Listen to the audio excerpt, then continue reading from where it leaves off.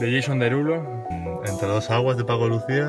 a Trap Queen, Never Say Goodbye, eh, alguna de Icon Ginza, Follow Me de Hardware Alguna de Chris Brown. y What Do You Mean de Justin Bieber. Alguna del momento como La Gozadera. y el taxi, y, y